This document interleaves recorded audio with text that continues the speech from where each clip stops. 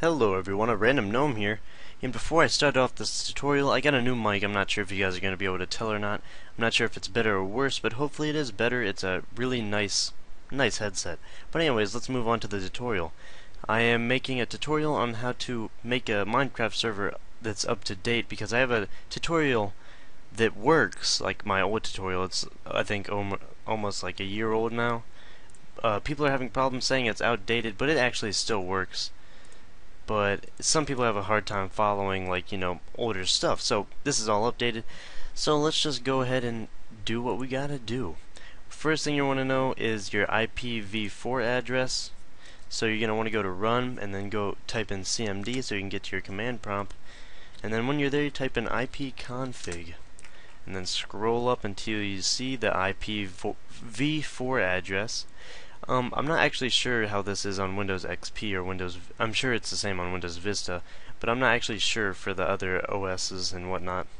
So once you have that, you're ready to go set up your ports. And how you do that is you're gonna see default gateway right there, 192.168.1.1.1. And that's what we're gonna type. I already have it typed in right there, so let's get in. And um, right here.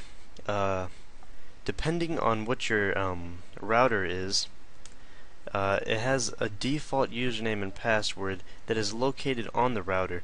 So most people, most routers are uh, the username is admin and the password is password. That should be it by default unless it's different for your router or if you changed it yourself.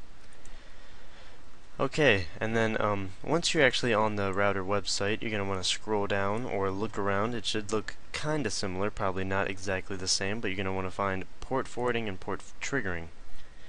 And once you're there, click on Add Custom Service, and then you're going to want to name that Minecraft, just so you know what you're talking about. I mean, what you're doing in case you come back and you're like, what is this? And you don't know what it is. Just name it Minecraft so you know. And then uh, for the starting port, it's 2 25565 and it's exactly the same for the ending port. And then you might be wondering why there's a missing thing right here. Uh, it's because uh, the thing doesn't really know what your local thing is right now like uh, it's on 0.7 right now and it changes sometimes. Like when you restart your router sometimes the number changes. So if it change like if you restart your router be prepared to change the number. So it's 0.7 right now. So we're going to want to put that 0.7 and apply that. And your port forwarding is all good to go. And all we really need now is to get the Minecraft server software. Okay, I don't want to update, so hopefully it doesn't make me. Alright, so you're just going to want to go to Google, type in Minecraft, and it'll take you directly to the first link is the Minecraft homepage. And you can see over here, play Minecraft. You can hit download.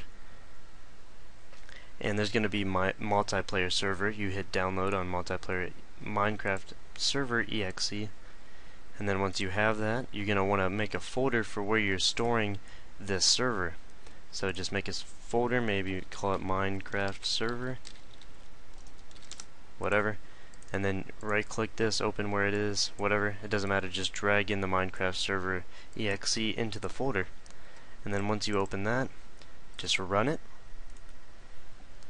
Now what's that, that's gonna, um, as you can, if you come back to this folder, you're gonna notice a lot more files, and the reason that is is because it needs uh, all this information to run the server and it automatically puts it in the folder for you so you don't have to go looking for stupid stuff.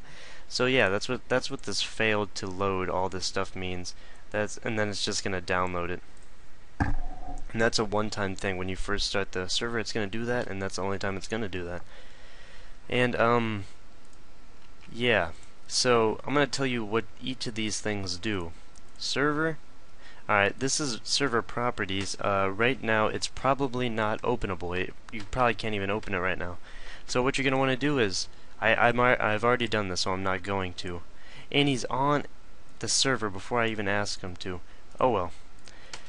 Alright, right click server and click open with and then you're going to want to click notepad if the server properties are not openable. And um and once you have that, yeah, you and then you can just open it and there's a lot of different settings you can choose like what you want to call your level if you want people to be allowed to fly. Uh, there's PvP how many people and whatnot and then if you want whitelisting or and then uh, online mode if you make that false you can actually have cracked players join your server which is not very cool because you should buy the game. And my friend already joined the server just so I could show you guys that this worked but he joined it too early and now I'm gonna show you how he joined alright I'm gonna go to like I'm gonna tell you how he did it. Or how I got him to join. He's gonna join off of your public IP address. So you're gonna google what's my IP and right here is what you're gonna want to give to him. Just copy and paste it. I'm not gonna show you what it is because you know I don't want you guys knowing my IP alright. So once you have that, you can just give that to your friend and it's ready to go. So uh, I'm to tell him to hop back on. Hop back on. Alright. Let me log in. Hopefully I, he does get back on. Even if he didn't, you saw him get on, so whatever. Alright, direct connect. You can either type in that IPv4 address that you got in your command prompt, to get into your own server, or you can just type in local host. And then once you're in, alright, I have this dumb client on I didn't mean to have, but who cares. Alright, as you can see, see, look, he's calling my server gay. It's messed up. It's messed up. But anyways, that's all we needed to see.